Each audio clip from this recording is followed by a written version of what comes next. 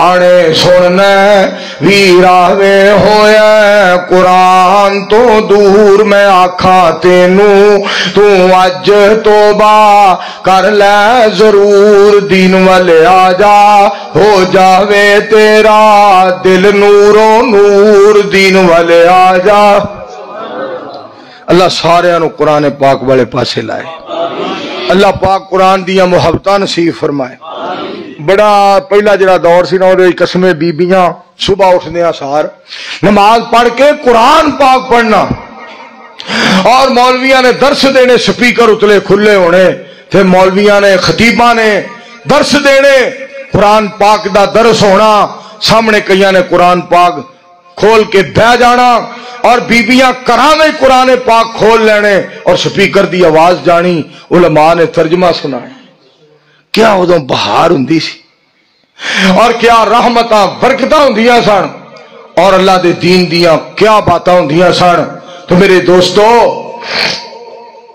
अज भी कोई कुरान पाक वाबस्ता हो जाए, सब तो बड़ी बात है यह है कि बंदा कुरान पाक, हदीस पाक वाबस्ता हो जाए कुरानो सुन्नत की बात है, कुरानो सुन्नत का मकाम है, कुरानो सुन्नत का शान है। मेरे पाक पैगंबर इस्लाम ने फरमाया एक राउल कुरान कुरान पढ़िया करो। ये क्यामत वाले दिन पढ़न वाले दे हक दे अंदर सिफारशी बन जाएगा। कुरान पढ़िया करो, कुरान पढ़िया करो, कुरान पाक पढ़िया करो। मेरी सरकार इस्लाम ने फरमाया, कुरान पाक पढ़िया करो। अलामा इकबाल रहमत ने एक बात की थी, ये बड़ी प्यारी। लिखना नहीं आता तो मेरी जान पड़ा कर। हो जाएगी तेरी हर मुश्किल, आसान पड़ा कर।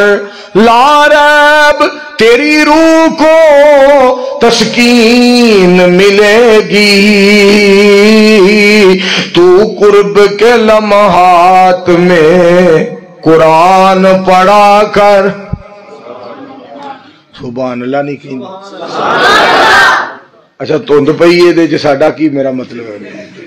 ਤੁਹਾਨੂੰ ਧੁੰਦ ਦੱਸੀ ਹੈ ਤੇ ਤੁਸੀਂ ਪਰੇਸ਼ਾਨ ਹੋ ਗਏ ਹੋ ਔਰ ਤੁਸੀਂ ਕੁਰਾਨ ਪਾਕ ਹਦੀਸ ਪਾਕ ਦੇ ਨਾਮ ਤੇ ਸੁਭਾਨ ਅੱਲਾ ਨਹੀਂ ਕਹਿਣੀ ਤੇ ਹੋਰ ਤੁਸੀਂ ਸੁਭਾਨ ਅੱਲਾ ਇਮਰਾਨ ਖਾਨ ਤੇ ਕਹਿਣੀ दाल अगे नहीं पी लभदी चने अगे नहीं पे लभदे मर गए हाँ तो तुम सुबहान अल्लाह कहोगे शायद इस बार महंगाई खत्म हो जाए बड़ी प्यारी बात अलामा इकबाल रहमत ने की थी ये सुनने वाली गल जे लारब तेरी रूह को तस्कीन मिलेगी।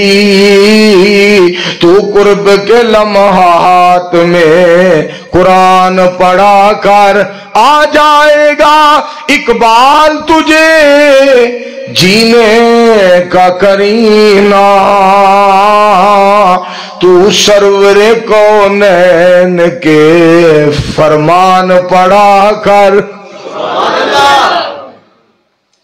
मौलाना अब्दुल मोनम साहब दी बात दी तई दे मेरे दोस्तों, कुरान पाक और हदीस पाक जो पढ़ांगे, गल बन जाएगी। कुरान पाक न वाबस्ता हो जावांगे। हदीस पाक न वाबस्ता हो जावांगे। पाक पैगंबर इस्लाम दी अतात करांगे, रब्बे कायनात दी इबादत करांगे। गल बन जाएगी, दीन वाले हो जावांगे, गल बन जाएगी।